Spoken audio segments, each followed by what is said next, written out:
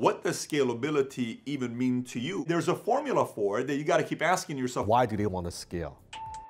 You run a tech company, I run a staffing company. We've both grown significantly. What are things that you've learned that have enabled you to scale and grow two multi-million dollar companies? I think the very first step is know what do you want? Identify your goal. Yep.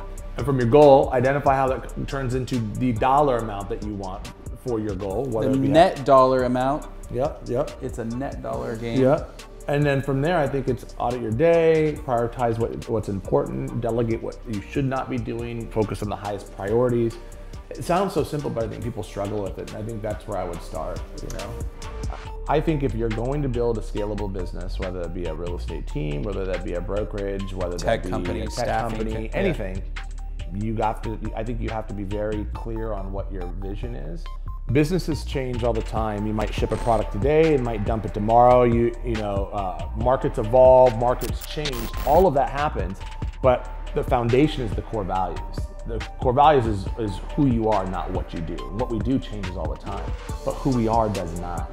Another issue is, well, I don't have time to hire an assistant. I'm really, really busy, or I don't have time to build that team, or I don't have. Then you shouldn't scale. I could, I remember when I was like, I don't got time to train a buyer's agent the way that I would do it. Well, then you only have enough hours in the day to show property or to list property, so good luck. Then you're at your cap. And at some point, you're gonna go, I'm gonna kill myself working 24 hours a day, seven days a week, or I need to get help, have a, a balanced life, knowing that energy is gonna push me to, to do bigger things, and I'm gonna have to delegate. And you might have to go through a couple assistants, or you might have to go through a couple employees, and they're not gonna be as good as you. And guess what? They shouldn't be as good as you because if they were, they'd freaking leave you. we all get sidetracked, we all get pulled. Truly audit your day and then prioritize what's an A priority, what's a B, and what's the crap I need to delegate off to somebody else or just cut out. I mean, this is really teaching your team how to be, how to have good, productive habits. Make sure they're aligned with the priorities, make sure they're doing dollar productive stuff, making sure that the company as a whole is charging towards the goal. I do my best work when I'm working on the big priority items, vision, strategy, where we're going, building the relationships. That's what I'm great at. And if I'm aligned with my right hand person, whether it be my business partner, whether if I'm on a realtor and I'm a team, or even a, a part time assistant, a virtual assistant, a transaction coordinator, even, you look at your strengths and weaknesses and then you define what you want to happen, and then they keep you accountable to them. The funny thing is the difference between millionaires and billionaires. Billionaires don't ask, what do I need to do? Billionaires ask, who do I need to hire? All the control used to be at the broker level. Now all the control is whoever is doing the volume. And so as a broker, you have to start thinking about like, what's my financial model? How am I gonna add value to these large teams or my own team so that people don't leave me?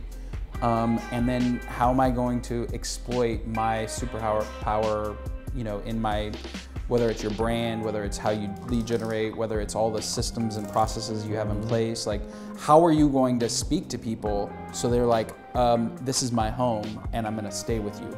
I have to be able to inspire and lead and train and motivate and, and, and set people up for success so that they can do what they do best in their skill set. And that means one, you have to have the right leader who can do that and who can inspire their team, but also you have to make sure that leader is clear on the vision, the direction, the strategy of the company. I would define our culture as super entrepreneurial where, you know, we give people the freedom and latitude to make the decisions, hold them accountable, make sure they have ownership on the decisions they make to, to execute. Be flexible on the details, but stubborn on the vision.